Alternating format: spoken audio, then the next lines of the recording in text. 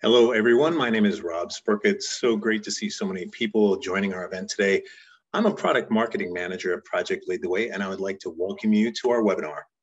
Today, we're bringing together educators from across the country to discuss ideas about how to sustain PLTW programs past your first year. We all know keeping PLTW programs helps your school and your district build equity, confidence, and achievement for, for students regardless of gender, race, background, and financial status. Now, before we begin, I want to share a few tips on how to maximize your webinar experience. Please join the conversation, share your story, and ask questions by engaging with fellow participants and subject matter experts. The chat has been enabled for this webinar, and we invite you to use it for these purposes. We have PLTW team members joining us today to answer your questions and help facilitate conversations in our breakout sessions. Now, don't worry if we're unable to answer your questions live today. We'll follow up after the webinar with additional information and answers to outstanding questions. So today we're going to give you a high-level overview of PLTW and the various funding options schools and districts have to implement programs. Next, we'll break out into groups to hear from your peers on what they are doing to sustain their PLTW programs after chatting with your peers, we'll round out our time by answering any questions you have. First, I'll share a brief overview about Project Lead the Way. You may be very familiar with, with what you're implementing, but not the broad range of our offerings.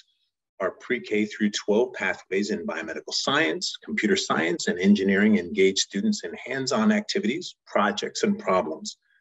You've seen how this empowers them to solve real-world challenges and inspires them to reimagine how they see themselves.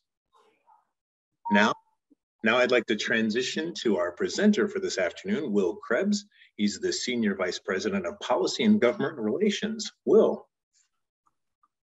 Thank you, Rob. And I echoes Rob gratitude to all of you for joining us this afternoon. And I hope everybody's doing well. Like Rob said, my name is Will Krebs, and I'm the Senior Vice President of Policy and Government Relations for Project Lead the Way.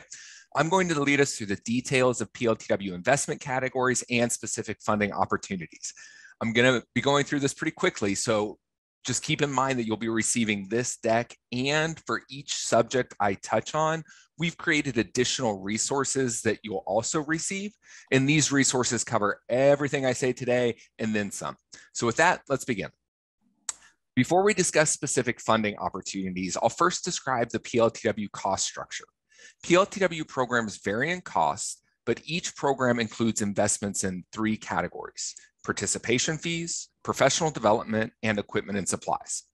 The participation fee is an annual fee that covers all of the curriculum access and software rights that you need for your PLTW programs. To be able to teach one of our courses, a teacher must be trained by PLTW in our core training experience, which is the professional development cost. This is an online training led by some of the very best PLTW teachers in the country. Lastly, our curriculum is project-based and very hands-on, so there are some equipment and supplies that you will need for implementation. I give you that overview first because as I discuss funding opportunities, I will try to align the specific investment category that you see here with the specific funding source so you know which goes with which. The first funding source we'll look at is the American Rescue Plan. This act was signed into law in 2021 and is a broad economic stimulus package designed to address various needs related to COVID 19. Included in this package are funds specifically for the education system. And you'll see this two ways. You'll see uh, American Rescue Plan funds and you'll see us refer to ESSER, uh, one and the same. These funds are one time and must be spent by September of 2024. These funds are also highly flexible and represent a very unique opportunity to innovate and create equity and access within your school. Because these funds are so flexible, it could make sense to use ARP funds in a variety of ways relative to the PLTW program. These funds align to all three of the PLTW investment categories, participation fees, equipment and supplies, and professional development. For resources here, I'm pointing you to additional materials from PLTW describing how PLTW fits within the purpose of these dollars, as well as a US Department of Education landing page that includes state-specific plans. When you think about using ARP funds, your first stop will be to consult with your local district's plan, which would have been developed last summer and provide more details for, for how those funds are to be used. The second funding source I'll mention is the Carl D. Perkins Act, or Perkins 5. For those of you who have worked in and around career and tech education, you're probably familiar with Perkins funds. Perkins is the primary way through which the federal government funds CTE. These dollars are specifically for career and technical educated career and technical education and are allocated year over year. The law here is very, very clear.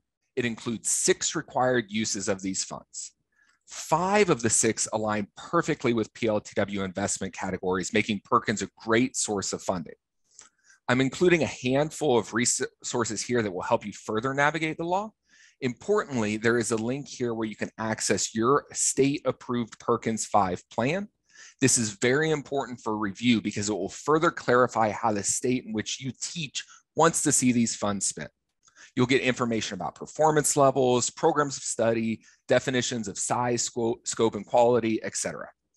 Also, your local district will have an approved plan which is revised frequently and needs to be based on performance, local performance data. That will give you even more details. Some of you might have even been involved with the development of these plans. The next source of federal funding I wanna highlight comes to you through the Every Student Succeeds Act, or ESSA. Now, you might not be overly familiar with ESSA, but I'm guessing you are familiar with the funds that come through this act. This act governs title funds, and you've likely heard of Title I, Title II, etc. This is the federal law that creates those programs. There are a total of nine title programs in ESSA. Each one of those has a specific use. We've identified four titles that connect to one or more of the PLTW investment categories. Like Perkins, there are both state and local plans that further clarify how these funds can be spent. I've linked to some resources here that will help you find and review those plans. We've also created some materials that describe certain title programs and explain how they can connect to PLTW, which are included as well. To help make sense of all the possible federal funding sources and how they link to PLTW, we've created a funding side-by-side -side resource on our website. This will help you see what federal funds are available and which ones can be used for our three investment categories. The document covers ARP funds, as well as Perkins and ESSA title funds. When it comes to those second two options, the nice thing about this document and the additional resources we have here is that they go to the very specific required uses for the federal laws. Lastly, we can't talk about funding without also mentioning the source of the majority of money spent locally, the local general fund. Revenues from state and local sources typically make up a district's general fund, which is the primary operating budget used to fund a district's expenses over a given year. These funds are often considered to be unrestricted because it is entirely up to the local education agency's governing body, typically your local school board, to determine how these funds are used. The big idea here is to include PLTW in your school, in your district's overall strategic plan and vision for how teachers and students will reach objectives and succeed. Once that is done, it becomes much easier and apparent how the funds in a local general fund could and should be used to start, scale, and sustain PLTW. In addition to the wide variety of federal, state, and local funding opportunities available for PLTW programs, we also have PLTW grants. Through these grants, PLTW will partner with your school or district to help you throughout your PLTW implement implementation.